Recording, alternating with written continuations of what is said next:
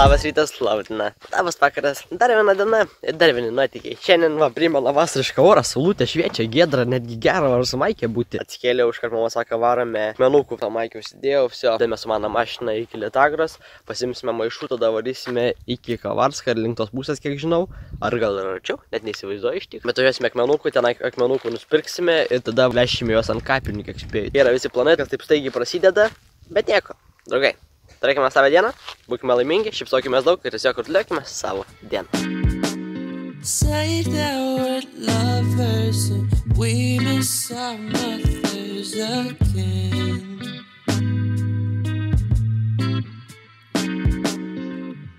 Prikolas tame, kad dabar negaliu namus eiti. Kodėl todėl, kad ta spina tai neužrakinta. Pati nečiau spina užrakinta, o jei sesė namie, tada reiškia namie, kad tai gal tu to atrakins. Bet man atrodo, bent jau pagal visus spėjimus, kad mama su sesė išvažiavo iki gimnazijų pažiūrėtas į kokią klasę pateko, todėl tikriausiai užrakinęs apatiniu raktu. Aš apatinį raktą pas save neturiu. Na tai va, sėdime dabar laukia. Norėjau kavos išgerti, kol jos grįž, bet va, dar ko nepasidariau šiandien, tai dar nepasitė lūpas, reiktų kuo greičiau pastepti, kad nieko nebaisaus nebūtų, nes tikrai jinai jau mažėja ir viskas kaip ir gerėja, tai yra pliusas. Nuvarėme tenai į vieną vietą, pasėmėm akmenukų, grįžau namo iš tikrųjų, nuvariau iki serviso, pasėm televizijos tėčio, ten pasinuvariau, tenai prijungė prie kompo mašiną, pažiūrėjo klaidas, bandė išsirinkt klaidas, nepavyko, ten įsiaiškinom, kad reikės tenai biškį tvarkyti, nes tenai ir begai dega, reikės tenai nuvaryti paskui po poros dienų ar kada, ar kažkaip ten sustarsime vėl pasisėdina tėti, arba kažkaip kitaip, nežinau, kažką kitą, kaip mano tėtis nuspręs, ir tada sutvarkyti visą šitą problemą. Vėl grįžau namo, vėl suskroviau visus maišus į mašiną, pasiruošęs varyti į kaimą, nuvežti juos iki kapų. Kaip mašina susėdus, man net gaila mašinos, reikės pabiškiai važiuoti į tą kelią. Ką veikiam dabar? Ką veikiame, kai namai užrakinti ir negalėti namus? Jo, sesės nėra namie. Fuck. Ką dabar lauksim, kada jos grįž?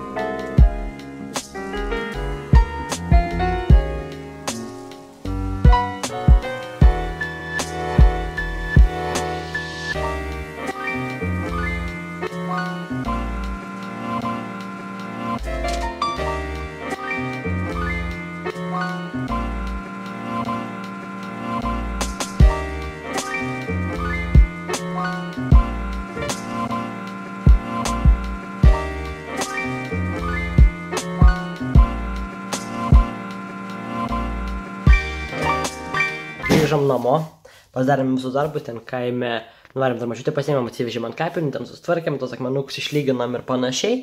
Tada grįžom, nuvarėm su mažiutė visas likusias 10 spėtrinų, nukėlėme, suvežėme, dabar ramu, kaime visi darbai pasidaryti, apart bulvekose. nuvarėm dar į parduotuvę, apsipirkom bišiuką, vse, esame namie. Su mama pradėjom krautis daiktus, ta prasme, universitetą tenai tašė ten rūbus ir panašiai, ten arba atinukai ir taip toliau, nu suprantate tokius dalykus tikriausiai, bet šios dalykus daromės. Dabar mama bišiukai išvažiavo, aš Tiesiog sėdžiu čia ir kalbu su jumis. Šiandien tikrai labai nieko nefilmavom, jau 5 valandos. Kažkaip tikrai diena staigiai prabėgo, šiandien net nepastebėjau, atvirai kalbant, nes tikrai kažkaip buvome visą laiką su mama ir su mačiutė, taip kažkaip, jup, viskas diena prabėgo. Šiandien yra vienas pliusas, kad šiltas oras, todėl bent jau galimės laukia normaliai pabūti. Tai vakar reikės padaryti, reikės padangą pasikeisti, sesė susidėti dviračių padangą, nes mano jų ten jau tragedija.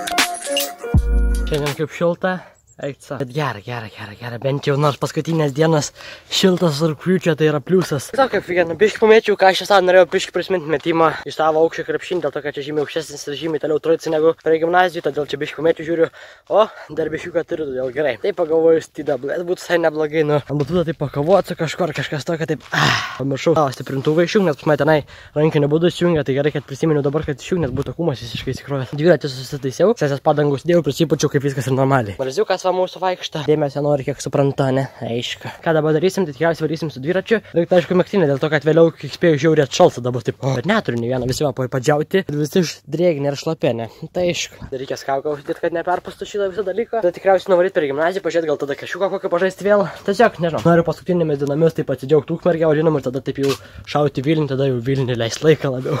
Ah, esi trešėja gerai. Hoping things would work themselves out.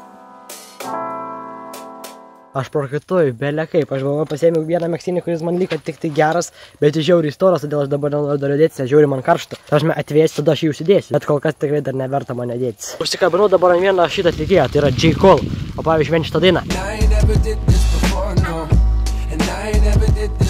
Nu čia žiauriai gera daina, ta prasme, negaliu.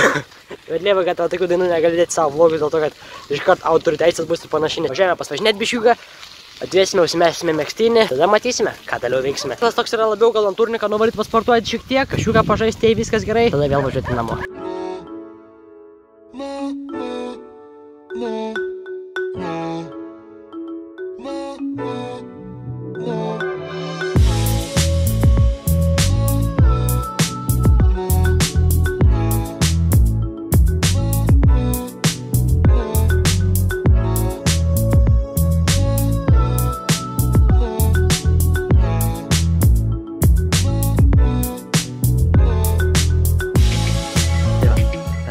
Dabar paimti ir padaryti taip pat trumpiausią epizodą visoje Aivaro vlogų istorijoje, bet aš manau to nedarysiu šiandien, man nereikia.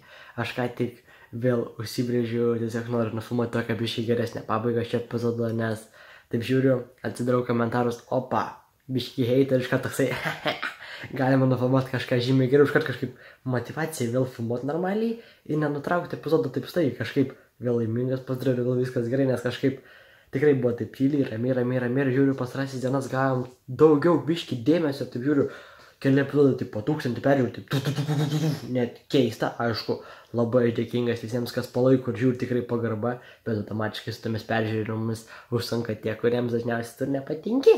Ir tada atranda tokių, kurie fuck you, fuck you, fuck you ir panašiai. Toks aš tada, jokas paima, nes tikrai senai nesu tokių dalykų skaitęs, o taip yra iš dalies ir gerai, ir blogai. Bet mūsų atveju, mūsų jau niekas nebeveikia su tų dalykų, bet tiesiog toksai, va, kad pastebėjimas, kad, žinai, perskaičiu toksai, nu davai, kas nepatinka. Nekalbant apie tos visus dalykus. Diena buvo tikrai šeiminiška tokia labiau vadinama, todėl nieko labai nefilmavom, pagalvojus, jei pradėtume filmuoti savo visą šeimą, būtų viskas žymiai kitaip.